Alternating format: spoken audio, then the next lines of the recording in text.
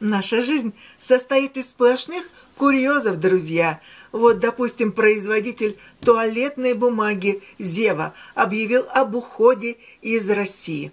Это шведская компания, которая собралась уйти из нашей страны. Эта компания поставляла на наш рынок средства гигиены под брендами «Зева», «Либрес», «Либерто», «Торг» и «Тена».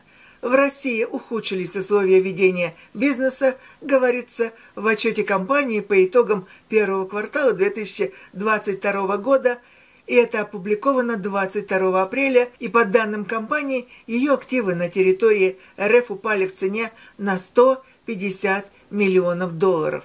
Производитель уже начал работу по выходу с российского рынка. В 2020 2021 году объем продаж компании в России составил 29,5 миллионов долларов или 2% от общего оборота. Также в компании сообщили, что они повысили цены на свою продукцию во всем мире и планируют в будущем поднять их еще раз. Но одновременно, друзья, американская компания Procter Gamble может закрыть бизнес тоже в нашей стране. По словам представителей фирмы, она будет не в состоянии вести дела в России из-за санкций. Ну, санкций со стороны Соединенных Штатов, поэтому компания американская не может этого делать, потому что санкции, друзья. Проблемы будут с поставщиками, денежно-кредитного урегулирования тоже не будет. Так что, друзья, финансовые институты все против такого сотрудничества американской компании с Россией. Поэтому Приготовьтесь, не будет туалетной бумаги. Поэтому приготовьтесь, друзья, что вся косметика, ну пока она еще есть на запасах, склады еще и какие-то поставки старые еще приходят в Россию, потому что договора были подписаны. И то договора, насколько мне известно, сейчас рвутся. Они останавливаются. Это не как во время войны, когда Россия не остановила по договору поставки пшеницы, поставки металла, на производство танков в Германию. Это разная ситуация. Сегодня, вот видите, взяли и закрыли. Закрыли поставки, закрыли приход товаров. Те, которые отгружены, они приходят. И если вы не закупитесь сегодня шампунями, туалетными бумагами, то вы будете через полгода пользоваться газетой вместо туалетной бумаги. А как было раньше? А вы не помните? Конечно, это смешно. Конечно, это чудовищно. Россия сама может выпускать туалетную бумагу. Я помню, друзья, 70-е годы. На Ленинском проспекте магазин «Тысячу мелочей». Знаете такой? Да сейчас он никому не известен, потому что везде всего полно. А раньше в этом магазине, пожалуй, в нескольких магазинах Москвы только продавали туалетную бумагу. Люди туда прибегали, приезжали, вставали в очереди, огромные очереди, стояли, я не знаю сколько человек, но огромное количество людей стояло в этих очередях, а из магазина счастливый покупатель выходил с гирляндой из туалетных рулонов. Вы можете себе представить, вы этого не помните, многие не знали, но вспомните – туалетными рулонами обвешивались люди. Я когда видела это в Москве, это смешно. Это смешно было и убого. Это говорило о кощунстве, что в России нет туалетной бумаги, и народ стоит за рулоном туалетной бумаги в очереди, полдня простаивает. А как же тогда пользоваться этой туалетной бумагой, такой дорогущей? Дорогущей не потому, что она дорого стоила, а потому, что ее не достать. В этом была дороговизна и уникальность этой туалетной бумаги. Так что теперь-то будем делать без туалетной бумаги, без прокладок, без средств гигиены. Что будем делать снова?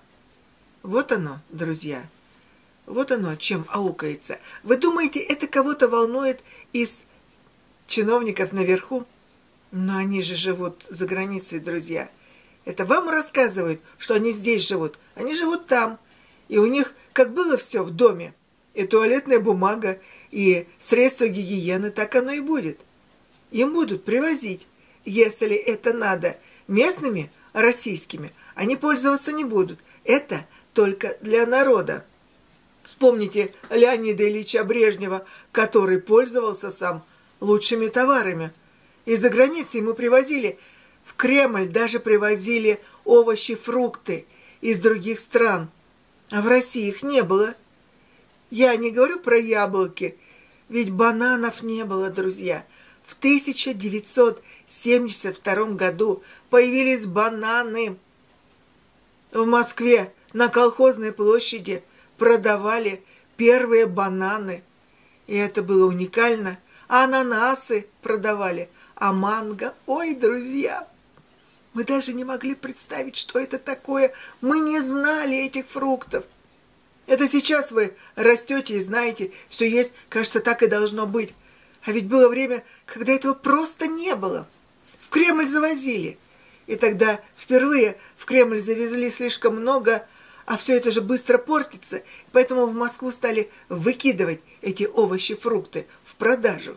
Вот так москвичи первые познакомились, а уже потом стали закупать для народа гораздо, гораздо позже. Так вот, вместо той зевовской туалетной бумаги предложили в России наладить производство туалетной бумаги из камня. Шикарно.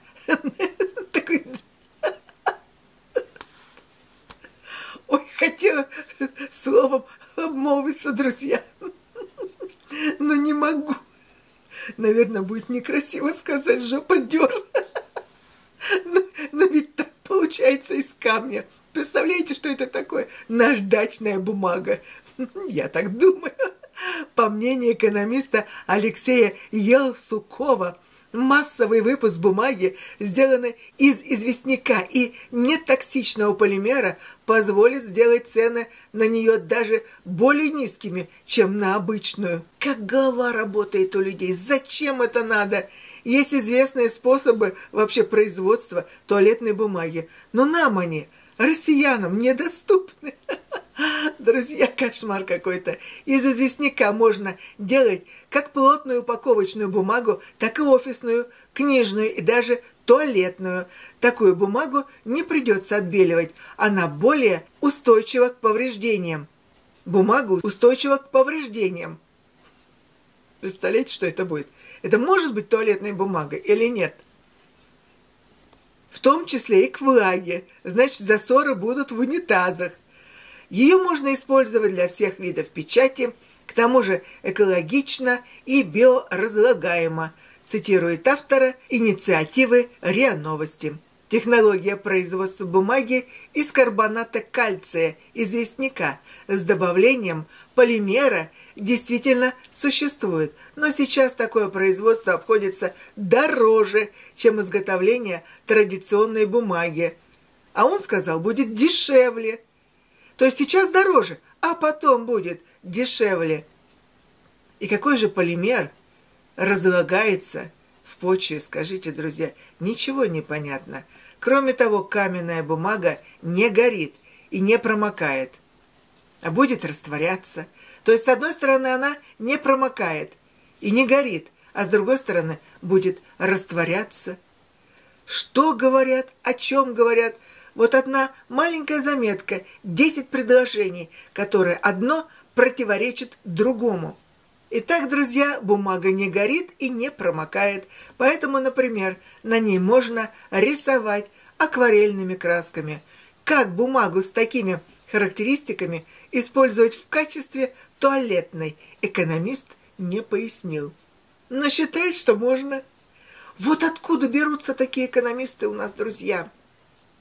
Есть умницы, есть умницы, но они стараются быстро уехать на Запад. Там они своим мозгам находят применение и хорошую зарплату по своим мозгам. А вот э, в России можно вот таким быть и придумывать такую бумагу.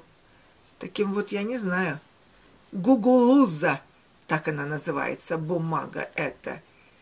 Инновации, конечно, инновации, каменная бумага, бумага не горит, бумага в огне не тонет, однако же она растворяется, сам себе противоречит. Экономисты, друзья, нужно, чтобы они все-таки умели считать и понимать. Если такие экономисты, то... Но нам же их дают, нам же их впихивают. Мы бы их не слушали с удовольствием, как не слушали бы когда-то Гайдара. Однако же впихивали, говорили, что это гений. Народ верил. А чему верил? Тому, что его оббирают? Но затуманивают глаза. Пелена, пелена. Пелена на ваших глазах, друзья. Снимайте пелену и думайте. Если вам написали такое про туалетную бумагу, значит ждите, что туалетная бумага скоро закончится, как и пуговицы, о которых поведала Набиулина. Я Таня Карацуба, сеет Бурхан. Скоро на самом верху Путин заговорит, я так полагаю, о туалетной бумаге и о пуговицах, которых не хватает в России. И он будет наверняка нас учить, но чиновники-то вообще ничего не могут. Уж если Эльвира Набиулина взялась рассказывать, что фурнитуры-то нет вообще для швейной промышленности, а теперь уже и бумаги нет, надо из камня делать. Вот такие горе-специалисты, я имею в виду, как тот, который о каменной бумаге объявил. Горе-специалисты, поэтому пусть уж лучше нам Путин рассказывает, где же взять туалетную бумагу. Я Таня Карацуба, Сиит Бурхан.